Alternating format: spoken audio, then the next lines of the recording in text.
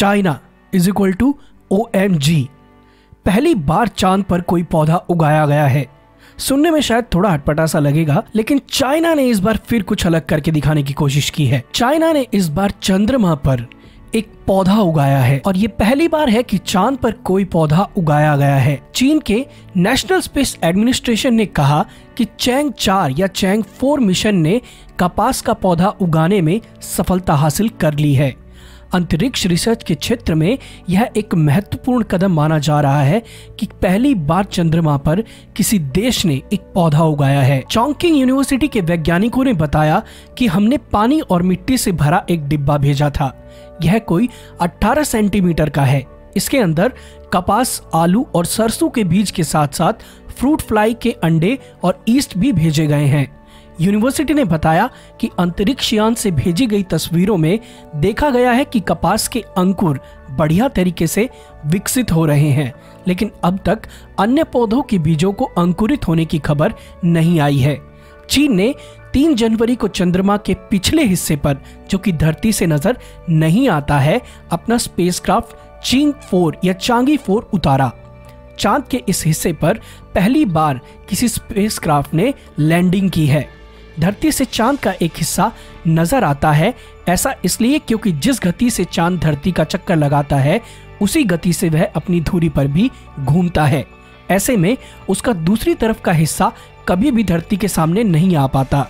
अब तक अमेरिका, रूस और चीन ही चाँद के उस हिस्से पर स्पेसक्राफ्ट उतार सके हैं। वैज्ञानिकों का मानना है कि मून पर, यानी कि चाँद पर, कठोर परिस्थितियों के प्रयोग के बाद मानव जाति ने सबसे पहले यह पौधा उगाया है। अंतरिक्ष में मौजूद यान से धरती पर भेजी गई तस्वीरें देखने से साफ़ साफ़ पता चलता है कि कपास का ये बीज अच्छी तरह से उगा है। शेष सभी पौधों के बीज जैसे कि तैसे हैं। पौधों को उगाने के लिए सबसे पहले बीजों को गोला कर टीन के कंटेनर में रखा गया।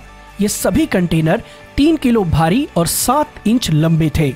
इनका डिज़ाइन चौंकिंग विश्वविद्यालय के विशेषज्ञों ने ही किया। इन्हें इंसुलेट परतों और एक मिनी एयर कंडीशनर सिस्टम से सजाया गया था।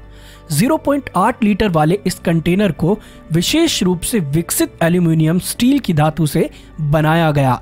बीजों के साथ साथ कंटेनर में पानी, मिट्टी और एक पोषक तत्व, समाधान, हवा, एक छोटा सा कैमरा, डाटा ट्रांसमीटर सिस्टम और उपकरण भी लगाए गए थे।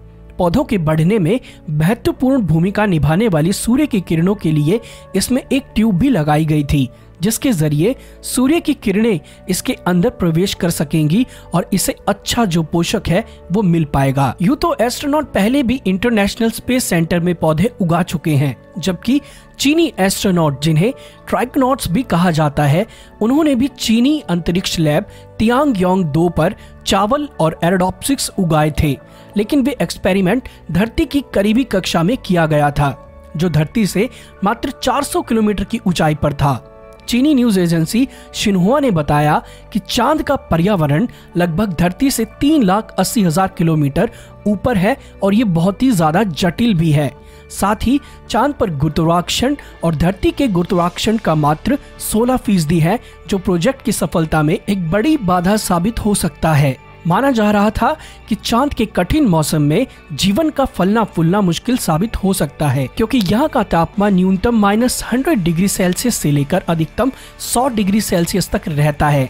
लेकिन अब साबित हो चुका है कि ये इतना भी मुश्किल नहीं है।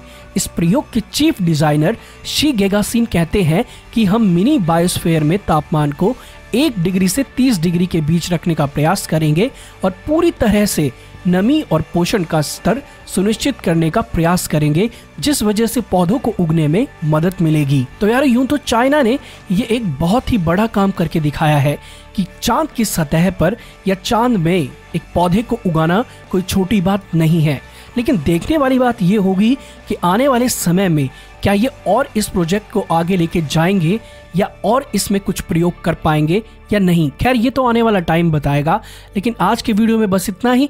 अगर अच्छा लगा हो तो लाइक करें, दोस्तों के साथ शेयर करना ना भूलें।